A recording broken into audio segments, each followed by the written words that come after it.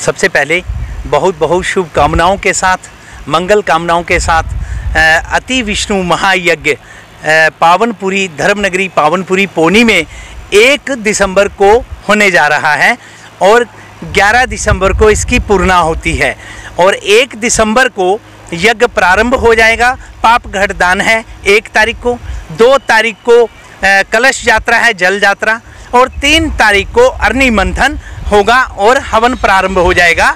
भारत के अमर वीर बलिदानियों की पुण्य स्मृति में इस धर्म नगरी पावनपुरी पोनी में प्रारंभ शुभारंभ होने जा रहा है और आप लोग सभी देशवासी, सभी सादर आमंत्रित हैं और आपको सूचित कर रहे हैं, एक मैसेज संदेश दे रहे हैं कि एक तारीख को हमारे माननीय, आदरणीय, सम्माननीय पूजनीय गवर्नर साहब आ रहे हैं राज्यपाल, जो इस पूरे राज्य का पालनहार जिसको बोला जा सकता है। अगर इस पूरे जगत का कोई परमात्मा जगत का पालनहार है तो फिर किसी प्रांत का वो इस तरह से ऐसा बोलते हैं कि राज्यपाल। तो राज्य का पालनहार जो है, वो गवर्नर साहब, उनका सादर आमंत्रित हैं। वो यहाँ पर धर्मनगरी, पावनपुरी, पोनी में वो यहाँ पे पधार रहे हैं।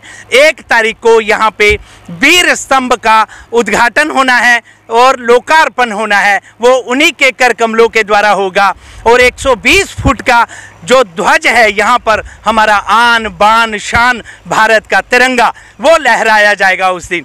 और फिर इस तरह से यज्ञ का कार्यक्रम शुभारंभ होगा और 11 दिसंबर को पूर्णाहुति होगी। आप लोग सभी सादर आमंत्रित हैं। भारत के अमरवीर शहीदों की पुण्य स्मृति में ये यज्ञ किया जा रहा है। आप लोग सभी आकर के यज्ञशाला की परिक्रमा करें और पुण्य के भागीदार बने।